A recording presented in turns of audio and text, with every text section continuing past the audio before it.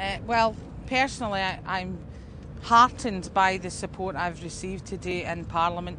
There have been lots of suggestions from the top to some of the lesser but as much appreciated individuals within the Parliament. I have been galvanised by their support and I take on board some of their ideas, which I have found very helpful. Thank you.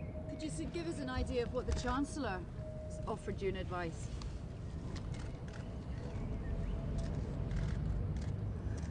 Well, the Chancellor, more than anything, gave me some moral support and his advice I'd like to firstly share with my brother before I share it with the rest of the country and keep him in the loop rather than uh, the media and people.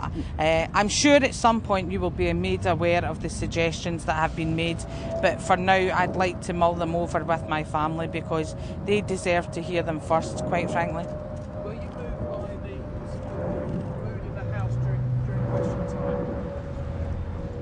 What the light-hearted mood when there was much of the jocularity or the support for the family. I presume you mean the second.